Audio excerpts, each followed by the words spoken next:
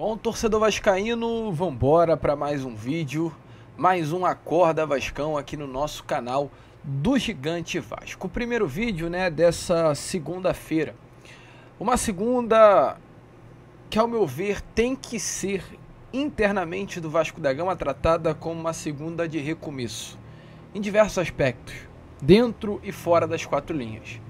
Dentro de campo, meu amigo, porque se olharmos a situação do Campeonato Brasileiro hoje, do Vasco da Gama, é muito difícil. O Vasco hoje é o nono colocado do Brasileirão. O Vasco hoje está quatro pontos atrás do Cruzeiro, que é o atual sétimo colocado, e o G7 está mais do que confirmado, será aberto ontem com o título do Flamengo. Tivemos essa confirmação. O Vasco é uma equipe que nos últimos 12 pontos, ou aliás, nos últimos 12 jogos, né, venceu apenas dois dos últimos 36 pontos, fez apenas 10. Tem um desempenho de zona do rebaixamento. O Vasco é uma equipe que nos últimos dois jogos sofreu 6 gols. O torcedor não confia mais no trabalho do Rafael Paiva. E fora de campo, a situação ela também é tensa. É tensa porque a torcida está revoltada. Ontem, o nosso maior rival novamente foi campeão de uma grande competição do futebol brasileiro. Hoje, a gente viu um Botafogo na final da Libertadores. Hoje, a gente vê um Fluminense que é o atual campeão da Libertadores. E hoje, a gente vê o nosso Vasco da Gama como a maior quarta, como a quarta força, a menor força do futebol carioca. E além de toda essa bagunça aí, olhando pelo fator desportivo do Vasco, internamente também a situação é constrangedora. A gente vê um Vasco em que não se fala internamente, um Pedrinho como presidente que bloqueia influenciadores, páginas nas redes sociais, a gente vê boatos, assuntos, conversas, sussurros de que no Conselho Deliberativo se fala, no Conselho de Beneméritos, perdão, se fala em uma não venda do Vasco, enquanto há um grego que está se mostrando interessado em comprar o Vasco. A gente vê muito erro. A gente vê muita loucura. A gente vê um Verrete que ontem, do nada, simplesmente do nada, começou a falar um monte de coisa nas redes sociais falar que os olhos não mentem e fechou a noite com as seguintes aspas, olha: Nem sempre você precisará contar o seu lado da história. O tempo conta. E aí, meu amigo? O que, que será que está acontecendo no Vasco? É a pergunta que eu faço. Mas enfim, né? A gente vai falar muito sobre isso aqui nesse Acorda Vascão. Um vídeo aí bastante agitado, bastante movimentado, com muitas novidades, muitas informações e muita troca aqui nessa manhã de segunda-feira com todos vocês. Porém, rapidinho aqui, né, antes de começar o vídeo, antes de deixar todos vocês muito bem informados sobre o nosso Cruz Maltino, como sempre faço aqui no canal, quero dar as boas-vindas a todos que estão chegando aqui pela primeira vez. Para quem ainda não me conhece, Vascaíno, muito prazer. Eu sou o Lucas, você está no canal do Gigante Vasco, o canal do torcedor vascaíno. E é claro, né, Vascão, você que está aí ó, do outro lado e ainda não é um inscrito do nosso canal, vem agora aqui embaixo, onde temos essa palavrinha inscreva-se, aperte nela, tá? E já venha aí fazer parte da nossa família, venha ajudar de fato o nosso crescimento, fazendo com que cada vez mais pessoas possam conhecer o nosso trabalho. Nós contamos muito aí com a presença, o apoio, a ajuda e a participação de todos vocês. Se inscrevam, curtam, compartilhem e deixe aí aqui embaixo o seu comentário sobre toda essa situação. Que, como a gente falou, amigo, já começo aqui dizendo exatamente isso. A situação do Vasco hoje é caótica. É caótica. Um ano em que talvez a gente pensou ter um pouquinho mais de tranquilidade, não tranquilidade, não estamos tendo, né? O Vasco hoje ele é o nono colocado brasileirão com 43 pontos. Vê o Bahia na oitava colocação com 46 e vê o Cruzeiro na sétima colocação com 47. Uma loucura para mim é saber que o Vasco ele pode perder uma vaga que está praticamente se entregando ao Vasco. Uma vaga que está caindo no colo do Vasco. Porque eu tenho mais sérias. Tenho, assim, muita convicção de que um G9 será aberto no Brasileirão. Ou seja, o Vasco, nessa posição que está, ele conseguiria conquistar uma vaga para a Libertadores de 2025. Só que esse desempenho do Vasco, ele me faz ter dúvidas se conseguiremos terminar esse Campeonato Brasileiro na nona colocação, gente. O Vasco hoje tem 43, mas o Vasco tem hoje na tabela do Campeonato Brasileiro equipes que estão atrás do Vasco cheirando o cangote do nosso Cruz Maltino. O Vasco ele tá na nona colocação com 43, mas viu um Corinthians na décima com 41. Ou seja, o Corinthians nesse momento está com exatamente dois pontos de distância do Vasco e tem três vitórias nos últimos cinco jogos, enquanto o Vasco da Gama ele tem duas derrotas, duas derrotas e duas vitórias com um empate nos últimos cinco jogos. O Vasco ele parou de pontuar. O Vasco estagnou. O desempenho do Vasco hoje no Campeonato Brasileiro, fazendo esse recorte dos últimos 12 jogos, é um desempenho de Z4, de zona do rebaixamento do Brasileirão. E por que eu digo que pode abrir G9? Porque ontem o Flamengo conquistou o título, G7 confirmado. Meu amigo, assim, posso ser sincero, eu acho que o Botafogo ele é hoje o campeão da Libertadores. Fácil, fácil, fácil. Com a bolinha que o Atlético Mineiro jogou ontem, teremos o Botafogo sendo campeão, talvez com uma goleada histórica em Buenos Aires contra o Atlético Mineiro. Botafogo vencendo, G8 será aberto. E o Diniz hoje encaixou o Cruzeiro. O Cruzeiro que não jogava bola está começando a entender mais ou menos como é o futebol de Fernando Diniz. E o Cruzeiro hoje, que é o sétimo colocado, ganharia uma vaga direta para a Libertadores através da Sul-Americana, que está na final contra o Racing. Ou seja, Cruzeiro vencer na Sul-Americana e Botafogo a Libertadores, teremos um G9. O Vasco ele poderia e poderá estar na Libertadores no ano que vem. É só fazer o básico. A Libertadores está caindo no colo do Vasco, mas o Vasco está simplesmente fugindo. Uma bagunça dentro de campo, gente. Desempenho de Z4. Z4. Horrível. Tá feio. Tá feio. Vasco tem duas vitórias nas últimas 12 partidas. O Vasco hoje vem um sinal de alerta completamente ligado, porque os adversários da parte de baixo encostaram ao que não vinha acontecendo. E o Vasco terá 11 dias para treinar. Próximo jogo do Vasco é agora no dia 21, meu amigo, contra o Internacional. 21 em São Januário. É o momento que o Vasco tem para reorganizar. É o momento que o técnico Rafael Paiva tem para respirar fundo.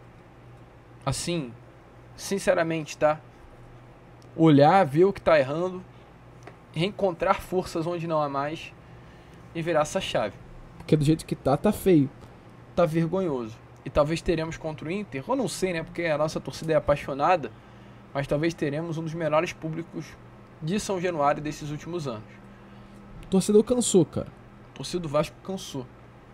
Essa é a grande realidade. A torcida do Vasco, ela cansou. Essa, esse momento, mais essa derrota para o Fortaleza no último sábado, o título do Flamengo ontem, tudo isso deixa o torcedor vascaíno exaurido, cara. Cansado. E ontem ainda, o Pablo Verrete, através de suas redes sociais, ele assim, teve uma postura muito estranha ontem. Se confirmou que o Verrete ele ganhou a artilharia da Copa do Brasil. E aí ele, logo após confirmar essa artilharia, ele vai nas suas redes e diz assim, ó, Los ojos no sabem mentir, ou seja, os olhos não sabem mentir. Quando eu vi essa frase eu falei, tá, os olhos não sabem mentir, pode ser uma frase se referindo à situação envolvendo a artilharia, né? Porque hoje o Verrete é um nome que está sendo criticado. Eu venho criticando o Verrete nos últimos vídeos, como infelizmente a situação dele dentro de campo tá meio ruim para a fase construtiva do Vasco. E aí eu pensei, poxa, talvez essas críticas estão chegando nele, né? Da imprensa de um modo geral, Verrete, da torcida Verrete, ele está dizendo, ó, os olhos não mentem, os números estão aí. Mas cara, ele fecha a noite de ontem com um story muito esquisito, gente. Muito esquisito, porque ele coloca: nem sempre você precisará contar o seu lado da história. O tempo conta. Então, assim, eu queria muito entender o que está acontecendo. Muito entender. Porque, se a gente parar para pensar, o Verrete hoje é uma peça que prejudica sim o Vasco. O Verrete hoje não está desempenhando. O Verrete hoje não está conseguindo jogar futebol. Mas será que não está acontecendo alguma coisa dentro do vestiário inibindo o Verrete? Prejudicando o Verrete? Será que há algum problema no Vasco? Será que há algum problema com o Rafael Paiva? Será que isso evidencia a queda de rendimento do Verrete? Não sei. Palavras muito esquisitas. Muito esquisitas do camisa 99 argentino. E não vem achar que não há isso no futebol não, tá? Porque há. Ontem, mais do que nunca tivemos esse exemplo do Gabriel Barbosa no Flamengo. Tô pegando o exemplo dos caras porque é importante. onde ele após a final ele fala: "Fui prejudicado por um técnico que não me respeitava como jogador e nem como atleta". Então assim, essa ideia que muitos torcedores têm de que futebol é mágico, é bonito, que não há problema, que é tudo certinho, meu amigo. Futebol é igual à vida. Há problema, há discussão. É um ambiente de trabalho normal. Há picuinha. Há, há contenda. Há jogo. Será que o Verrete está metido em alguma dessas coisas? Será que isso é consequência do desempenho dele tão. Ou, aliás, o desempenho dele ruim é consequência do que vem acontecendo? Não sei. Mas é uma frase que coloca assim uma pulga atrás da orelha do torcedor com relação a ao que vem acontecendo dentro do vestiário do Vasco. Até porque, me desculpe, duas vitórias em 12 jogos para uma equipe semifinalista da Copa do Brasil, para mim tem alguma coisa acontecendo nesse vestiário do Vasco, gente. Não é normal. Ontem tivemos o Pedrinho como presidente do Vasco, gente. Como alguém que é a pessoa que deveria ser a mais centrada do Vasco da Gama. Pedrinho ontem ele simplesmente começou a bloquear um monte de página, um monte de página no Instagram. Bloquear, gente. Que papo de, desculpe, que papo de maluco do Pedrinho. Que papo de maluco do Pedrinho. Ele inicia praticamente o dia bloqueando, né, o jornalista Lucas Pedrosa, que é claro, assim como todo e qualquer vascaíno começou a questionar o presidente, tem que ser questionado. Pedrinho precisa botar cara. Pedrinho precisa se posicionar. Pedrinho precisa falar. Precisa explicar o que Marcelo Santana veio fazer que até agora a gente não entendeu. Precisa explicar o que o Felipe veio fazer que até agora a gente nem sequer ouviu o Felipe, gente. O Felipe não fala. Por que o Felipe não fala? Precisa explicar para o Vascaíno o que vai acontecer. Se teremos venda, se não teremos venda. Ficar dependendo de videozinho do YouTube, na Vasco TV, de Carlos Amodeu, Rafael Viana. Não é papo para torcedor não, Pedrinho. Porque quando você não podia falar, você queria falar. Mas agora que você pode falar, você não quer falar? Tá entendendo? Que é meio incoerente. Quando ele tinha liberdade para falar, aliás, quando ele não tinha liberdade para falar, ele fazia de ir para entrevista coletiva para tentar botar sua cara para a torcida, para que comprassem o seu barulho. Hoje ele pode, mas cadê ele? Eu acho que hoje o Vascaíno precisa de uma palavra ele precisa de um esclarecimento. Ele precisa de uma posição. Porque, sinceramente, está uma grande confusão. Ele simplesmente começou a bloquear jornalistas. A gente, nesse momento, tem a informação de um interesse, de um possível interesse desse grego. E sim, é muito esquisito o que está acontecendo, porque o Zé Colmeia, né, essa figura ilustríssima que aparece em alguns momentos no Vasco, que são até engraçados, trocou uma ideia com o filho do Evangelos Marinax, do grego milionário magnata. E aí, nessa conversa, o filho dele passou uma foto da, da camisa do Vasco da Gama, que muito provavelmente ele tem. Então, assim, a parada tá avançada, o que parece. E aí ele ainda fala pro Zé, né? Vamos ver o que o futuro reserva. Deixa uma grande interrogação. Deixa um três pontinhos. Deixa um monte de mosquito aí na cabeça do torcedor vascaíno zumbindo no ouvido, de tipo, pulga atrás da orelha mesmo.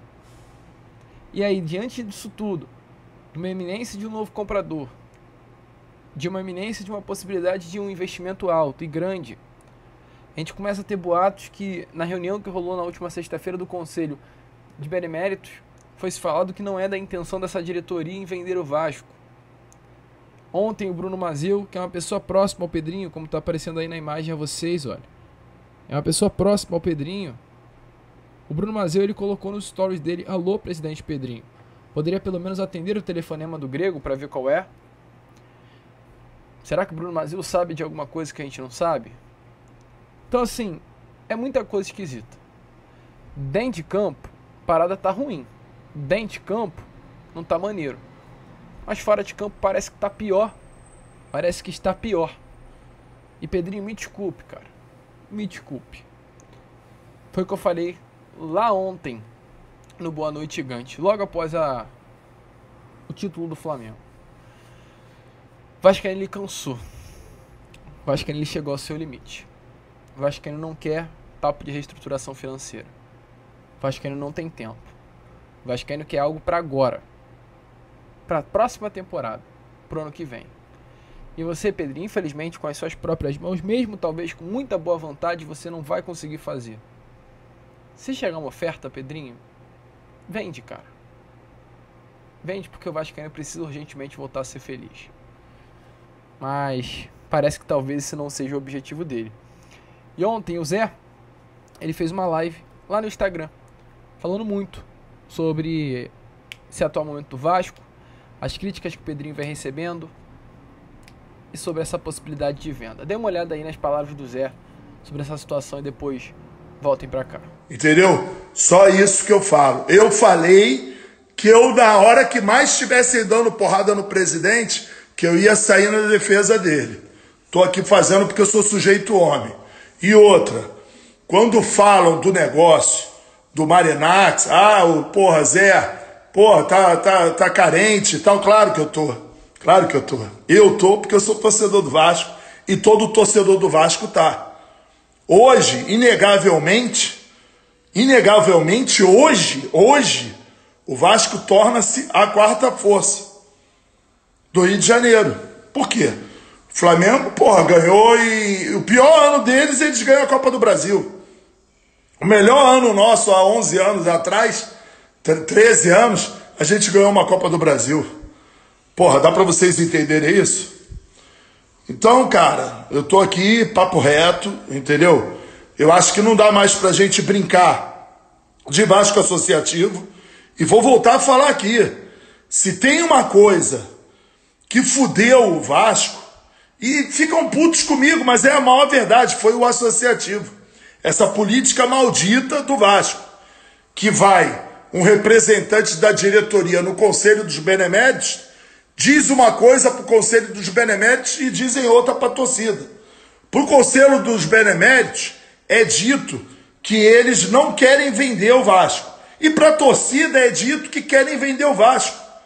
Porra, isso aí isso aí é maior, porra, entendeu? Aí a gente vê um membro lá do Conselho dos Beneméritos, que nem é membro, mas participou, e aí, porra, botando carta redigida, porra, falando disso. Que no, no Conselho dos Beneméritos, sexta-feira retrasada, foi dito que não tinha intenção de vender.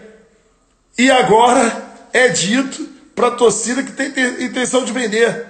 Tem que vender, tem que vender. Quem não quer vender o Vasco hoje é porque tem algum interesse particular nisso. Entendeu? O Vasco necessita de um investidor. A janela foi pífia. Foi pífia. E quando eu falo isso, eu não falo em relação aos cria, não. Eu falo em relação ao dinheiro que se botou em Jean Davi em Maxime. Maxime botar quatro anos de contrato, um cara que tinha os scouts que ele tinha e que ninguém conhecia. Porra, eu quero super que vá bem. Peço até desculpa que é o profissional, não tem nada a ver. Agora, porra, pra cima da gente, eu tenho certeza que o Pedrinho não, não chancelou isso e não foi dele essa escolha. Porra, eu tenho certeza e nem esse contrato de quatro anos. Só que ele ele jamais vai pegar e vai falar isso pra gente. Jamais. Mas eu acho que quem fez esse negócio, quem fez esse negócio, tinha que pegar e botar a cara. Até porque sempre botou a cara para cornetar. Porra, cornetavam pra cacete uma porrada de jogador do Vasco. Cornetaram pra cacete. E agora, não dá para entender. Só isso. Estou falando aqui, sabe por quê? Eu sou papo reto. Eu, eu sou um cara que eu tive que escutar a gracinha.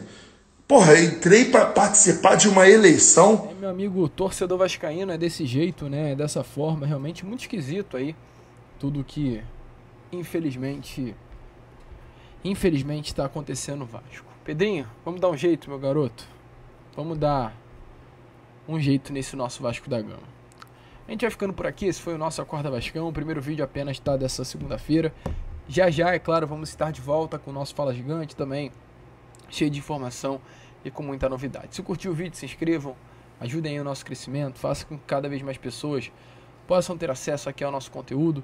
E como sempre falamos também aqui, é claro, no nosso canal, vamos que vamos, se inscrevam, compartilhem e saudações vascaínas.